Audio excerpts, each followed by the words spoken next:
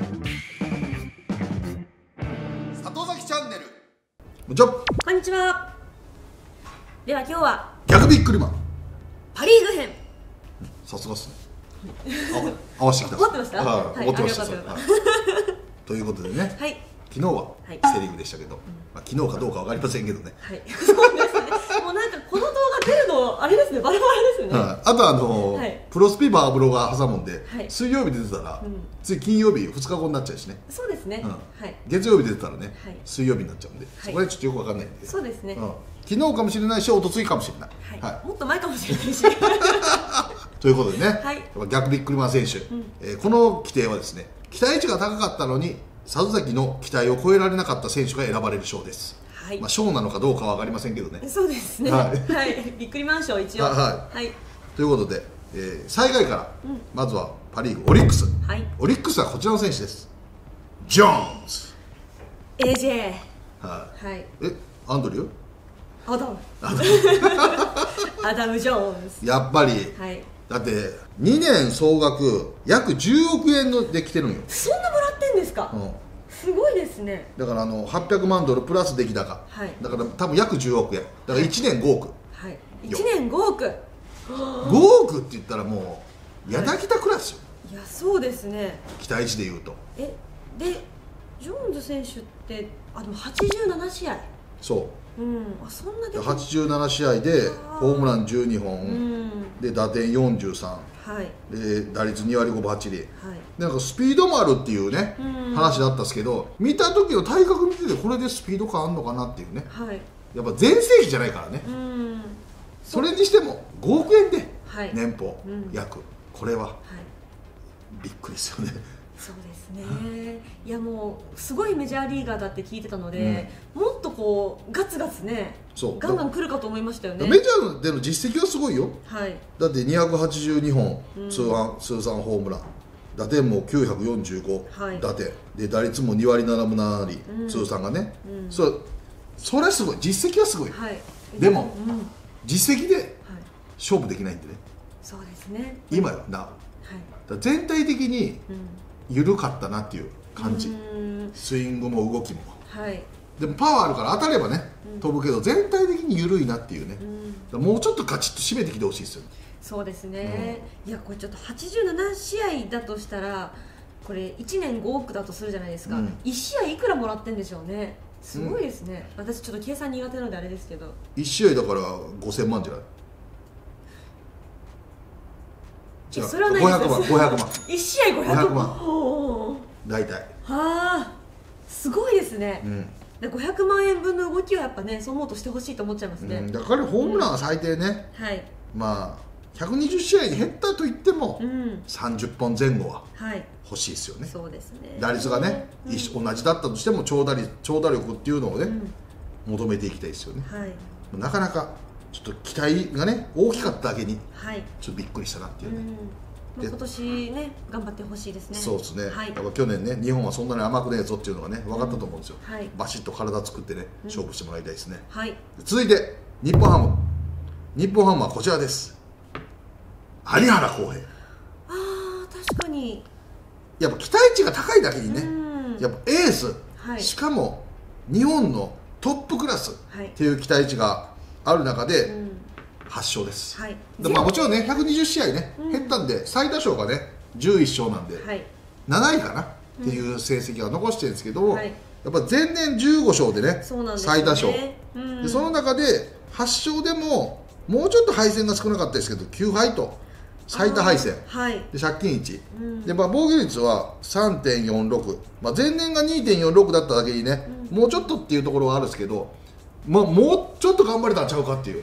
もうそうですね。やっぱ前年の最多勝を見てると物足りなくなっちゃうかもしれない。でしかも先発がね、ちょっと頭がついないっていうところで有原にかかる負担がね、大きかったのは分かるんですけど、はい。そこでエースとしてもうちょっと引っ張ってもらいたかったなっていうね、はい。ところはあるんですよね。そうですね。ううん。ん、でもメジャーです。はい。レンジャーズ？ねレンジャーズ。うん。え。なんかこの厳しい状況の中やっぱ決まるってすごいですね。しかも早かったしね。はい。しかもだって2年総額620万ドル。で約7億円前後らしいですね。ね、うん。2年総額だから1年でだから3億5000万ぐらい、はい。いいなあ。だからあのー条件をね、うん。そんなにこだわらなければ、はい。多分このコロナ禍でもいける状況にはね、うん。あったのかなっていうところがこの有原のね、はい。ポスティング、そうですうん。ね、でもねあ分かるとこかなっていうね、うん。ところはありますけど、まあ、どういうねはい、頑張りを見せるのか。うん気にしたいですね。はい、ちょっとニュース見たいですよね、うんメジャー気になる。が気になりますね、で続いて、はい。えー楽天。はい。楽天はこちらです、森原。はあそこ来ますか。いや出だしはすごかったよ。いやすごかった。出だしの,、はい。あの楽天の快進撃を支えてたのは、まああの鈴木大地、浅村の打撃陣っていうのもあったんですけど、うん。まあ、この中継ぎ？いやそうなんですよ。はい。だからブセニッツ？うん。とか、はい。森原もそうだし、うん。中継ぎ陣やばかったじゃん、そう。そこが崩れてやっぱチーム自体がちょっとガタガタときたんですよね。結局17試合登板の1勝2敗、4セーブ2ホールド、防御率が7.56、はい。おいおいおいどうした？ってうんいう、で最初森原投手が抑えやってたんでしたっけ？そうそうそう。ねそれがちゃんとね最初はいい感じだったんですけどね、でその点でがね64試合登板して、はい。29ホールド防御率1.97とね、はい。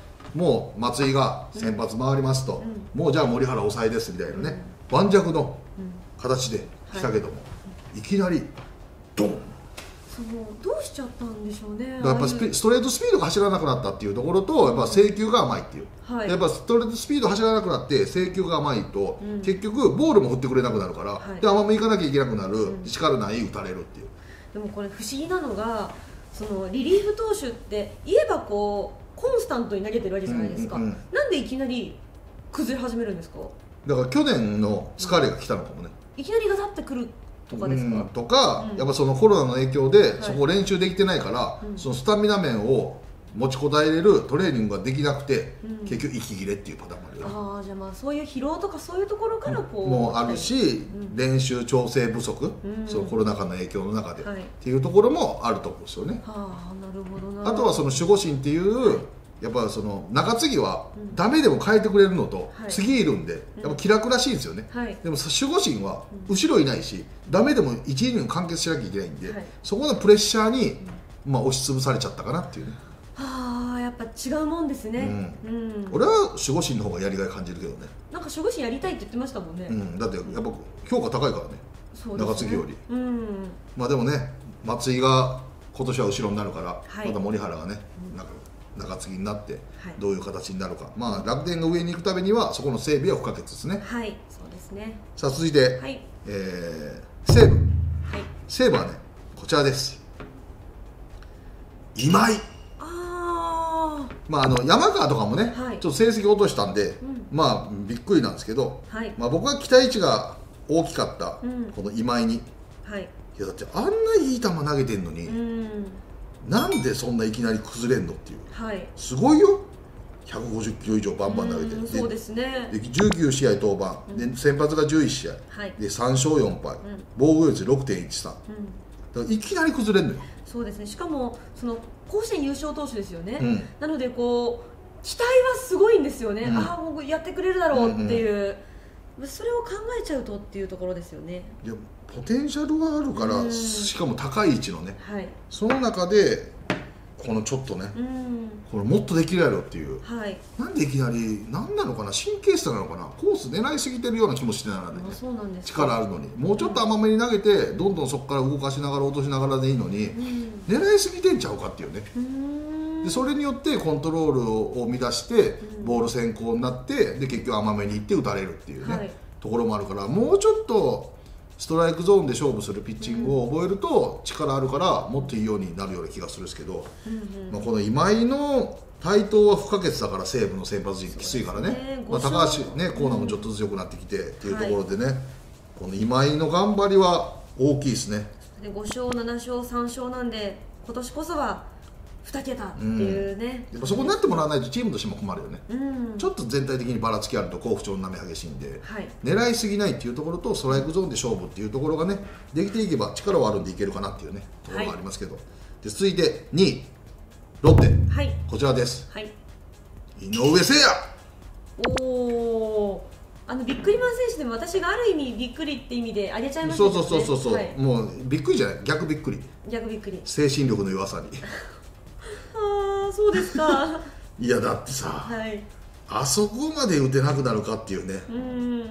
一気に来たよ。はい。やっぱりそこがね、もったいないよね。はい。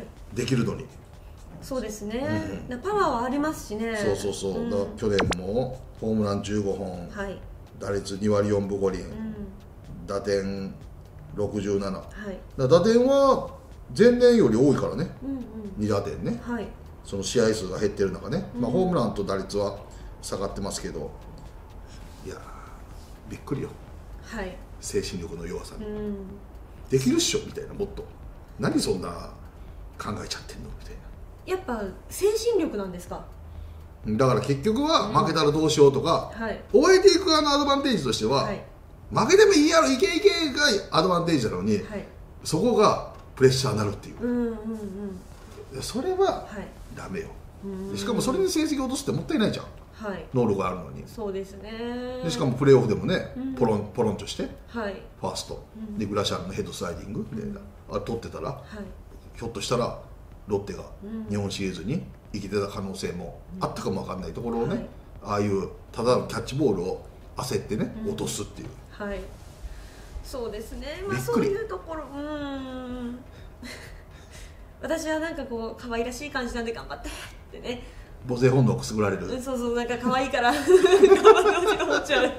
いやダメよもう本当びっくりよ。はい。らそういったところのタフネスさをねうん。あの鍛えていってもらいたいですね。でも本当そうです。よロッテの中のまあ手法としてね、うん。こうでチームを引っ張っていく存在になってほしいそうそうそう、ですもんねそうじゃないと、うん。そういうふうに見られちゃうからね、うん。あいつは勝負どころ弱いとか。はい、うんだからそういうふうに見せたらダメだよね、はい。そう相手の精神的優位に立たれちゃうじゃん、うん。こいつはもうあの大舞台弱いからねみたいな、うんうん。俺なんて普段大舞台強いからねって言われ続けて、はい。それだけで相手がプレッシャーになっちゃうじゃんね、まあそうですよね、佐藤さんに打たれるかもってピッチャー思いますもんね。普段はあんなんだけど大一番とか、うん。ここ一の時強いから気をつけなきゃって思うと相手が気にしてボール先行になったりするのに、はい。いやいやこいつはもういけるよって思われてたらダメじゃん、向こうが強気になっちゃいますそうもんね。だからそういったところはしっかりメンタルをうんやっぱプロのアスリートとして保っていく部分では頑張らないと、はい。まあ、びっくりしちゃうよっていうね、うん。俺が。だから佐藤さんのびっくりは逆にびっくりなんですよね。そうそうそうそうそう。はい。個人的見解です、はい。まあ全部そうなんだけどね、このチャンネル全部個人的見解なんで。はい。で次に最後ソフトバンク、はい。もうソフトバンクはこちらの方です。バレンティンはい。どうししたんでしょうね。これはね、はい。セパの違いに秘密があるねはい。また言っちゃうねセパの違い。はい。パ・リーグっていうのは、うん。強打者にはい。対峙するときにやることは、インコースをどんどん投げるっていう。はい。でセ・リーグは逆に言うとアウトコースの出し入れで勝負するっていう感じなのね。はい。大きく分けると、うんうん。だからパ・リーグっていうのは強打者が来れば来るほどインコースにどんどん投げていくの。はい。だからあの柳田もね、うん。ロッテ戦ロッテのピッチャーはインコースガンガン投げてうん。抑えていくように、バレンティンもインコースガンガン投げられるのね、うんうん。でそれを気にするあまり、はい。アウトコースが全然なっちゃって全部悪い方向に行っちゃったかなっていう。ここに攻められすぎてね、うん。でそれに対応できなかったんで,、うん。で結局外逃げてくれないんで、はい。合わせに行くバッティングとかができないわけ、だかうんらもう力でそれを無,、ね、無意はい。力で打ち勝とうとするから、どんどん開いていって、はい。どんどん強く振って、うん。でもう外から岸になって打てなくなっちゃったから。っていうこれやっぱセ・リーグに長年いたからこそちょっとそう戸惑いもあったかもわかんないね。そのね。な日本長年いたんで、うんちょっと頭を使って配球も読んで対応してきたと思うんですよね、うん。セ・リーグにいる時は、はい。それがパ・リーグに来て全く違う配球になったから、うん。そこのパニックもあったかもわかんないね。でも交流戦でも戦ってるはいるじゃないですか。でもちょっとじゃん。まあ確かに一定期間ですもんね。で交流戦はちょっとだから、うん。パ・リーグの選手っていうのも、うん。そのセ・リーグのバッターに対してそんなにほど餌まいたりしないのね。だってもう戦わないから。はい。でもパ・リーグ対パ・リーグ同一リーグっていうのはまだ戦うから、い。打たれてもいいからガンガン行こうとかなるほど。次の試合もしくは次のカードの時、うん。もしくは1年間を考えて今日の配球をするから。そっか。交流戦っていうのはトーナメントと一緒だから、はい。今日勝つ配球だけでいいから、うん。明日への布石とか、い。そんな作らないわけ。へ特に今ははい。18試合しかないんで、えうん。そんなこと、うん。まあしないんですよね、はい。昔の36試合制の時は表裏あるからうん。布石もちょっと考えながらやってましたけど、今は考えないから,、ん。そういったところでもガンガン来られて。へえもうそんな違うんですね、うんだからここをどうにかしないと、うん。多分もうずっと打てないと思うパ・リーグ来ても、まあでも今年はもしかしたらそこの対策をねこのうんオフに立ててくるかどうかっていうね。しれないし、ううん。いや本当もうあのバレンティンがってなりましたかそうらねここまで打てへんとはね、うん。ちょっとびっくりだよね、はい。でもこれがもしバレンティン打ち出すと、グラシアルバレンティン、デスパイね揃い踏みしちゃうとね、まいだやーさらにソフトバンクちょっとやばいですよ、うん。あとはこう休ませながらのね、はい。ところがなるんで,うん。さ、でしかも今年もまだねコロナ禍の影響で外国人選手は5人まではい。登録していいってなったし、で去年はピッチャー1人野手4人、えーピッチャーに野手1人の,、あのバランスのところは1年間その配分変えれなかったんですよ。はい。途中から2-3とかできなあかったんですよねはい。でも今年はそれも撤廃されて、はい。どんな組み合わせでもできるようになって、はい。でも試合にちょ出れる選手は決められてるけど、人数はね。だからまたそういうバリエーションよく外国人選手も決めれるんで、もしバレンティンがうまくはまったら、さらにソフトバンクがね上がっていくかなっていうね。そうですね、うん。ちょっと他球団ファンにとってはもしかしたらちょっとバレンティンさんもうちょっと眠っててって思っちゃうかもしれないですよね。そう起きたらやばいよね。はい。やばいな。だからまあね心に上げた選手がね、まあ、だからここに上げた選手が頑張れば頑張るほど、そのチームの順位はね自然に上がっていくと思うので、はい。そこら辺のね頑張りがどうなるのかっていうところは期待したいですね。はい